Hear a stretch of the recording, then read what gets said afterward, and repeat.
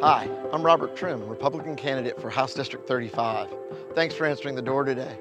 My volunteers are out all over the district knocking on doors, trying to talk to as many of the 35,000 plus voters to tell them how critically important this coming election is on November 8th. As your next state representative, I am committed to protecting small business, to empowering parents for their children's education, and to making sure our communities stay safe and strong. With your help and your vote on November 8th, I will help keep Georgia on the right track. If you ever have a question for me, my cell phone number is 404 805 6803. Thanks again.